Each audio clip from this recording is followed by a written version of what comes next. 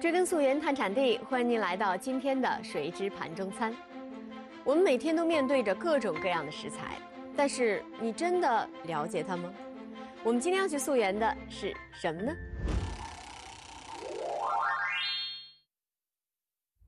随着人们生活节奏的加快，方便美味的快手菜成为了众多食客的首选。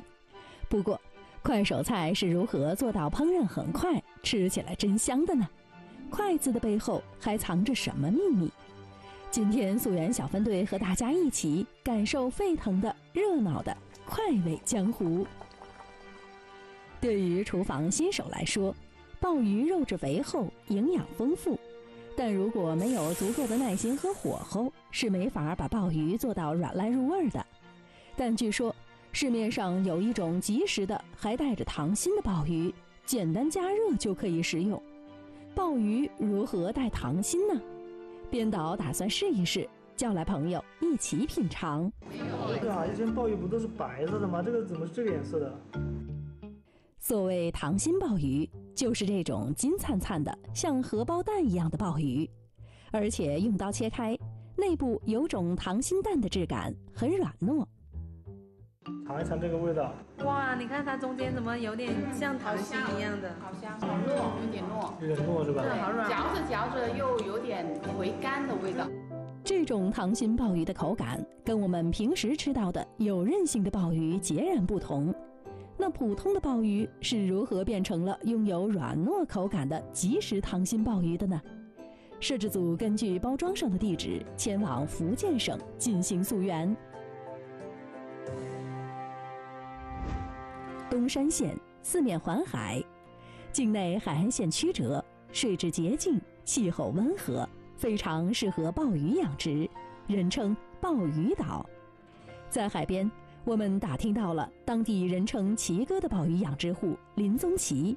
表明来意后，林大哥说要带我们去见一种特别的鲍鱼。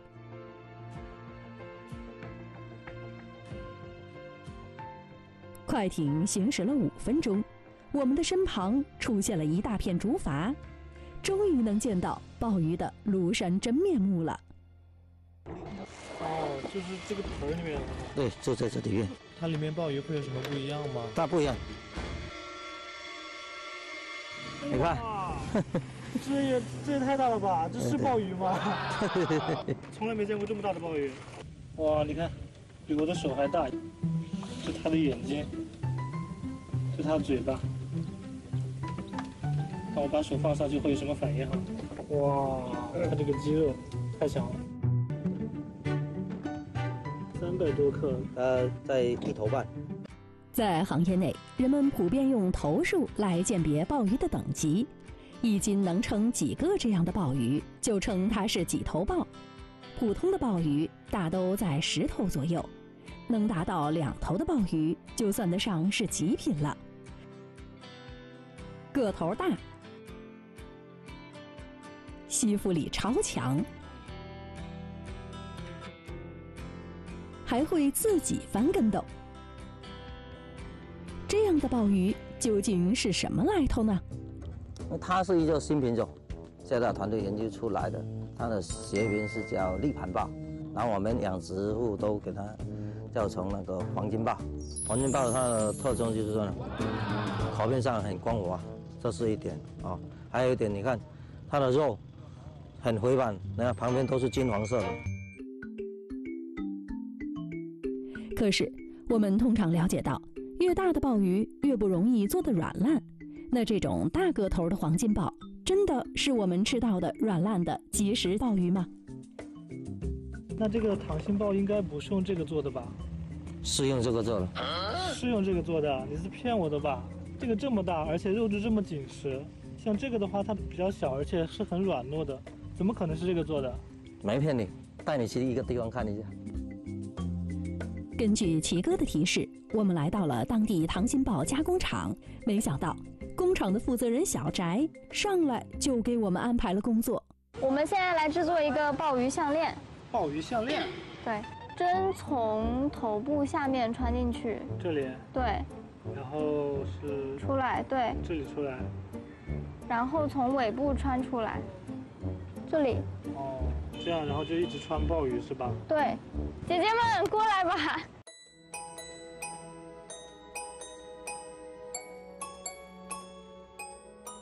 鲍鱼之间不可以挨太近，稍微远一些，慢一点啊。这样的操作让我们越来越迷惑了。煮完后的鲍鱼已经够紧实了，涮一下岂不就更硬了吗？而且俗话说，海鲜吃的就是一个鲜，不赶紧趁新鲜卖了，晾在这里岂不是暴殄天物了吗？小翟告诉我们，有些海鲜需要趁新鲜吃，有些海鲜需要时间的沉淀。这就是晾晒了一个月的鲍鱼，个头似乎也小了不少。哦，这个真的是变小了哎。我们拿出一只干鲍和一只与它同等规格的新鲜鲍鱼进行对比，发现它的大小几乎缩小成了原来的八分之一，而比起晾晒前，它的重量只剩下原来的四分之一。这缩水后的鲍鱼终于和糖心鲍鱼有几分相似了。可是，这样一个坚硬的可以磕掉大牙的东西，要怎么变得软糯起来呢？这还能做成糖心鲍吗？还要进行最后的步骤。硬硬的干制鲍鱼如何变成软糯的糖心鲍呢？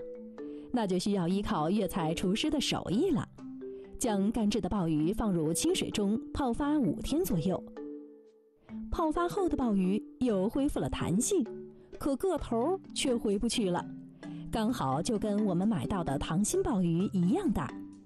原来，之所以必须得用巨无霸的鲍鱼来做糖心鲍鱼，就是因为它在晒干和泡发后会严重缩水。如果用普通鲍鱼做的话，做出来可能连塞牙缝都不够了。那么，减肥成功后，鲍鱼要如何最终变身糖心鲍鱼呢？这个是老母鸡、排骨、金华火腿、鸭掌、鸡脚、干贝、猪瘦肉、猪龙骨，这些配料都是来做鲍鱼的。八种配料处理后放进锅底，加入浸泡好的鲍鱼，小火慢炖。将鲍鱼放入砂锅内，大火收汁，糖心鲍鱼就做好了。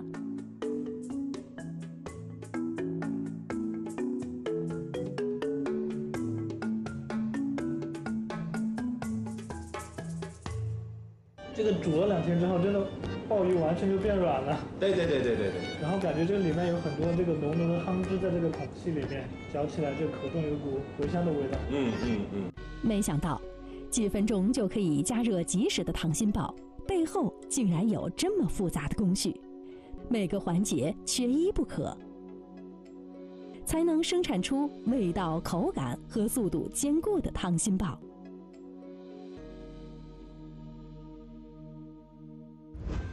吃完了东南沿海的鲍鱼，我们再去西北尝尝草原羊。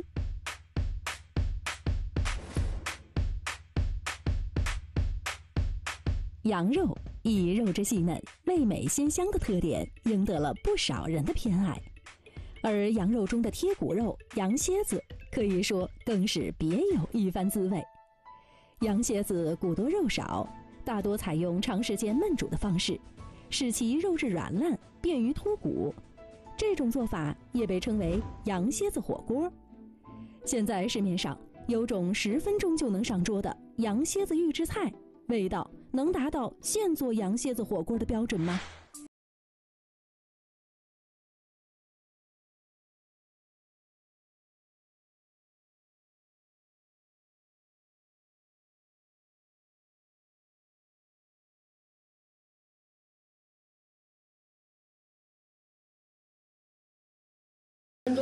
可以看到这锅里面现在已经也是开的非常彻底了，把它关掉。哇，这个打开以后。哇，就可以闻到这个香气扑鼻的味道了。这个看着呢，这个肉应该是都熟了，来尝一尝它这个味道。嗯，这个吃起来还真挺入味儿的，而且这个肉也是非常软烂的，这个味道跟我以前吃过的羊蝎子比呢，好像还更香、更浓郁了一点儿。嗯，真没想到这一大锅的羊蝎子真的可以十分钟就已经做好了。满满一大锅的羊蝎子，也就煮了十分钟，就能获得鲜美入味的舌尖享受。这到底是什么原因呢？十分钟上桌的羊蝎子用的又是什么羊呢？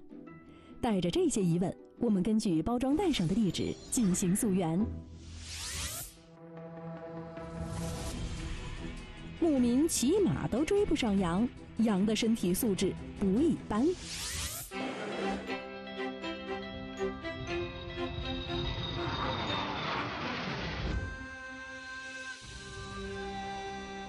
锡林郭勒草原位于内蒙古自治区东中部锡林郭勒盟境内，草原面积十七点九六万平方公里，是华北地区重要的生态屏障，也是中国四大草原之一。在一望无际的草原上，编导和牧民走了二十多分钟，才看到羊群的身影。看了没有？哎，你看一下，哦我手那个方向看到没有？哦，这边白白的找到他们了。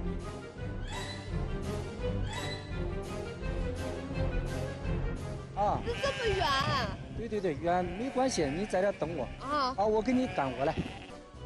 为了能近距离看到羊群，牧民骑上了马，开始赶羊。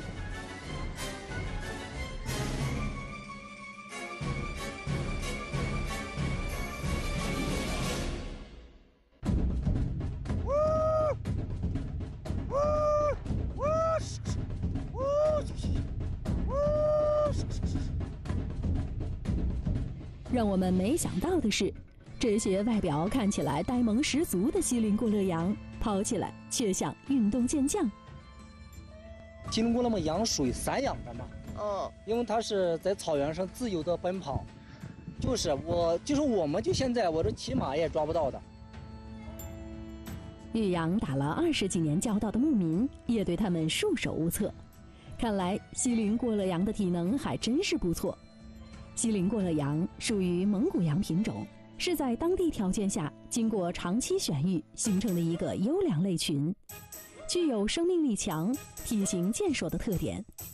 广阔肥沃的草原环境，一方面促使锡林郭勒羊多运动，身体壮，肉质紧实，口感好；另一方面，草原上丰富的中草药和优质牧草，也让锡林郭勒羊的肉质更富有风味儿。了解了羊蝎子的选材，那当地传统的羊蝎子是怎么做的呢？大概多长时间能做到软烂入味儿的状态呢？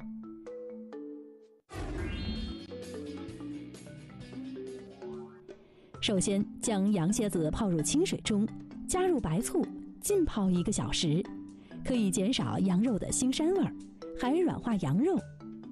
然后，羊蝎子冷水下锅焯水，撇去浮沫后，就可以放入高压锅里进行压制了，时间控制在三十分钟左右。另一边，可以把备好的调味品放入油锅里进行炒制，炒出香味后，在锅里加入温水炖煮二十分钟，把压制好的羊蝎子放入炖好的汤汁里一起炖煮十五分钟，大火再转小火炖十分钟，一共用时两个小时十五分钟。这不禁更让我们疑惑了：这十分钟就能上桌的羊蝎子又是怎么做到的呢？为了一探究竟，我们前往了下一站，继续溯源。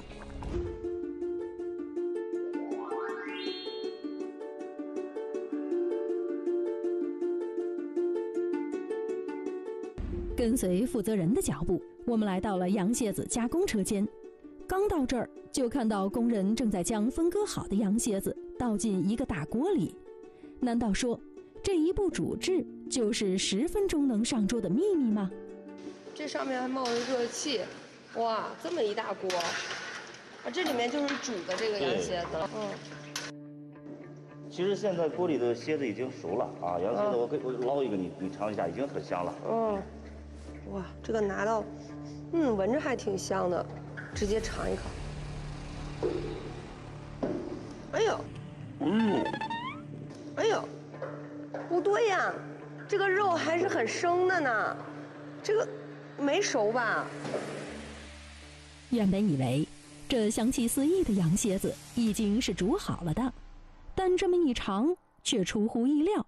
一般来说，这羊蝎子煮好了，它的口感也就定型了，无论再怎么加工，都很难改变它的口感了。可现在吃到的羊蝎子还是很硬，达到这个程度是做不到十分钟就能上桌的。到底是什么原因改变了羊蝎子的口感呢？其实，在煮制的阶段呢，我们做到这个程度就可以了啊，已经完成了。这不禁让编导纳闷了，肉还是硬的，却不再继续煮制了。正当我们疑惑的时候，一个大家伙吸引了我们的注意。这里面是什么呢？这里这些就是刚才煮的羊蝎子。原来。这些铝箔袋里装的就是准备最后包装出厂的羊蝎子了。这种带包装的羊蝎子会和锅里煮制过的羊蝎子有所不同吗？编导随机拆开了一道来一探究竟。这回你可以尝一下。嗯，哎，这回这个肉质好像就已经烂了很多，而且都有点这个脱骨的感觉了。之前吃到的羊蝎子口感还是干硬的，为什么从这个大家伙里推出来的羊蝎子就有这么大的变化呢？难不成这个大家伙里还藏着什么特别的秘密吗？煮完之后呢，用这个大设备进行了一个二次的一个呃熟成和消毒，高温高压去灭菌。经过一百二十一摄氏度的高温杀菌工艺，既是灭菌又是二次熟制的过程。铝箔包装把羊蝎子的鲜味儿和香味儿牢牢锁住，因此消费者在家中直接拆开包装再下锅，羊蝎子的美味就直接呈现出来了。这就是羊蝎子十分钟上桌的秘密所在。除了餐桌上的快手硬菜，好多即食的小零食也深受大家的欢迎。开袋即食十分方便，即食扇贝肉就是其中之一。怎么样？这个好吃吗？好吃。没想到扇贝还有这种包装，这种吃法。那您觉得口味怎么样？很鲜。很鲜。嗯，像我们这种不会做海鲜的人，吃着非常方便。这种海鲜作为零食，孩子吃起来挺健康，但是就是不知道这种包装的零食它的保鲜度怎么样。虽然这种扇贝肉的口味赢得了大家的一致好评，但同时消费者也提出了对新鲜度的担心。毕竟，像扇贝这样的海鲜都是极容易变质的食物。编导将新鲜扇贝在室外放置，不到一天就已经发臭腐败。常温下，新鲜扇贝的变质速度如此之快，而即食扇贝肉的外包装上却明确写着保质期九个月。平时放一天就会坏的扇贝，究竟是怎么保存九个月的呢？根据包装上的地址，我们出发前往产地辽宁省大连市长海县一探究竟。刚捕的扇贝不开壳，流水线作业还得靠人工操作。一路上，摄制组换乘了多种交通工具，终于到达了这片盛产扇贝的海岛。长海县位于辽东半岛东侧。黄海北部海域水产丰富，其中虾夷扇贝更是这片海域的佼佼者。编导找到了当地的渔民孙大哥，跟着渔船一起出海，去寻找做即食扇贝的原料——虾夷扇贝。船停下后，今天的扇贝捕捞正式开始。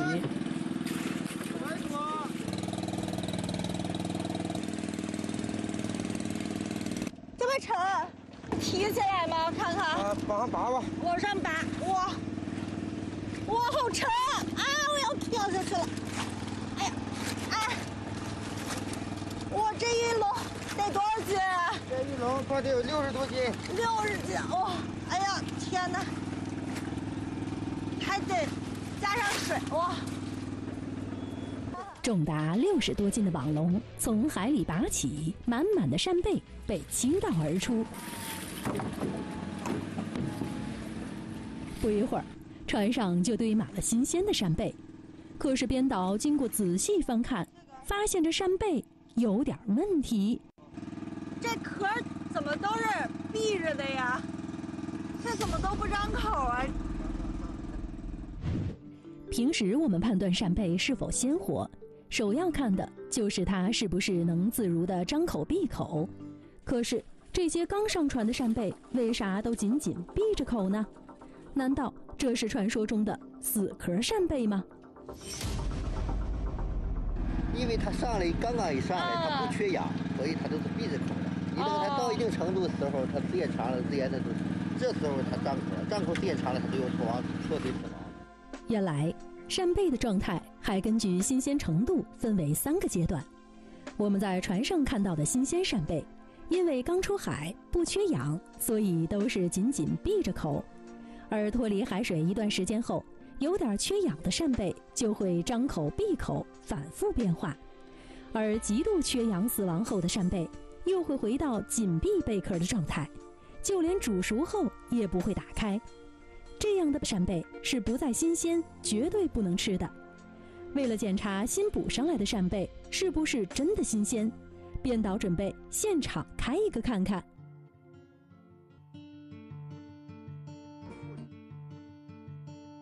把扇贝的裙边去掉，扒掉，这些都吃不了。这吃可以吃，但是要经过加工熟了才能吃。但这个扇贝丁呢，可以正常。这扇贝丁可以直接吃了。可以，可以直接吃生吃的。哇，尝尝这个扇贝丁啊！嗯，好鲜，好甜啊！对呀，它是不是一种甜？没有海水这个咸咸那个味道。一点腥味都没有啊！哎，对呀，没有腥味，就特别鲜、特别甜的那个味道，而且口感软软糯糯的。对对。好好吃，有了新鲜的夏夷扇贝，是做即食扇贝的第一步。那新鲜扇贝的保鲜期到底是如何被延长的呢？摄制组跟随着运送扇贝的车前往加工厂继续溯源。进入工厂里的扇贝全都是流水线作业，清洗、开口、去壳、蒸煮，一气呵成。鲜扇贝变成了熟扇贝，可是，编导将蒸熟后的扇贝肉在室外放置几个小时，就出现变干变味儿的情况。扇贝即便做熟了，在常温下还是撑不过一天。即食扇贝肉延长保鲜期的秘密究竟是什么呢？编导跟着孙大哥来到另一个车间，这里的忙碌让我们大吃一惊。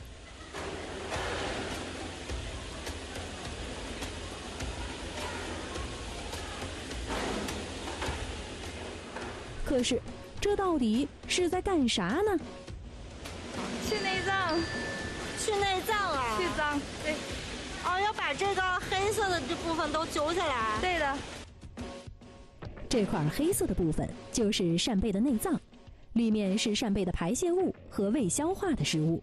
彻底清除扇贝的内脏，也是延长即食扇贝保质期的关键。为了保证每个扇贝的内脏都去除干净，必须人工操作。接着还是流水线作业，将扇贝彻底清洗、真空包装，然后进行即食扇贝保鲜的最后一个步骤——高温杀菌锅。在高温杀菌锅中，已经被真空包装的扇贝肉再一次接受全面的消毒灭菌，充分隔绝袋内的空气，延长了扇贝的保质期，还锁住了鲜味儿。农业现代化的加速发展，极大的方便了我们的日常生活。在炎热的夏天，这些精致的快手菜、开袋即食的小海鲜，定会让心急的食客们吃得美味，吃得健康。好的，感谢您收看今天的《水质盘中餐》，追根溯源探产地。我们下期节目再见啦！